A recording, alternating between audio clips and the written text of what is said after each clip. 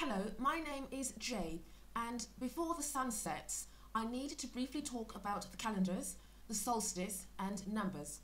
Firstly, for those of you acknowledging and using the energies from the end of the Mercury retrograde, which is the 8th of January, the full moon on the 11th, and the new moon and Chinese New Year on the 28th of January, make good use from them if you are directed to this. Secondly, although most people use the current Western Gregorian calendar to communicate with various people, there are a number of individuals taking an interest in the other calendars in order to deciphering their meanings and additionally using the energies that resonate through these time structures. I refer to calendars such as the ancient Maya calendar, the Aztec sun calendar, the genetic disc from Columbia, the Babylonian calendar, the Egyptian calendar, the Trundholm sun chariot, the Hindu calendar, the Cherokee calendar, the Zuni calendar, the Hopi calendar, the Bulgarian calendar, the Chinese calendar, the Muslim calendar, the Bronze Age sky disk, the Phaistos disk, and the Jewish calendar.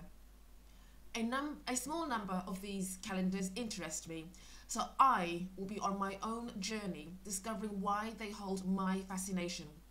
I must admit that on one level, I am synchronizing more with the seasonal changes and the solstice aspects in addition to utilizing the standard calendar. So instead of seeing an end of 2016 and a beginning of 2017, I am looking at the energies of the winter solstice at present and seeing how it aids me through this season and into the following season, this transitional period. Each winter solstice is different with changing energies, energies. Some man-made, some natural, some spiritual. Take the opportunity during winter solstice to connect within yourself and to the divine light. If you need the aid of one of the aforementioned calendars, then read up more on it. You may be surprised about which resonates more with you. Acknowledge your instincts. So, with the new Gregorian calendar of 2017 commencing, I will read to you a message from an, from an angelic Reiki master teacher colleague of mine. January is a good month to have another look at our wish or intention list for the year and to continue to focus and energize it with our attention. As 2017 adds up to 10, the number 10, and therefore the number 1, this is a year of new beginnings, a new, fresh, nine year cycle, which has so much potential depending on the type of energy you invest into. Will it be the energy of regret and discontent?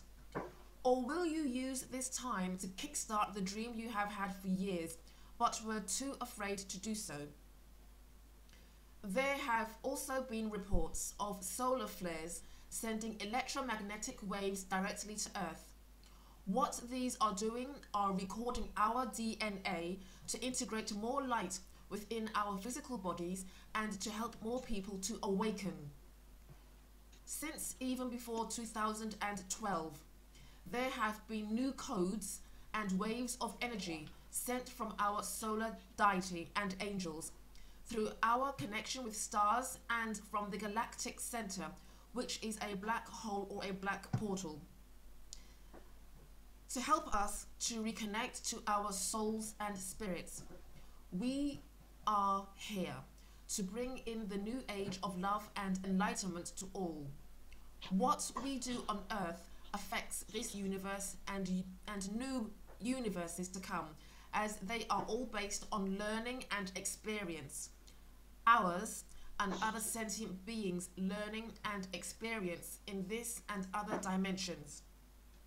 These waves will continue and their levels will rise as we become more accustomed to bearing this level of light whilst still in ego and living earthly lives. It is time, and many of you have heard the call. There are more and more people waking up. So here's to focus, energy, resolve, and commitment to creating our dreams in the smoothest and most graceful way. And my colleague has also made a small note saying, just for information, I found these dates on Emmanuel Dagher's website, and I will add a link to help you get to Emmanuel's website for more information. The message is so. This month, there are potent days for creation as the numbers one are abound. The 1st of January was just such a day, as is the 10th of January 2017, the 11th of January 2017, the 19th of January 2017 and the 28th of January 2017. The final day will be the Chinese New Year and will herald in the first new moon of 2017. All these numbers reduce to 1.1.1 or 11.1.1. However you read it, it's a sequence of the numbers 1. So anyone wanting more information should go to the Emmanuel Daghers website. And of course, I, I have uh, given a link uh, to help you. So in closing, if you need me, you know how to get in touch through this channel. So please keep safe, warm and well. Much love and light. Jay.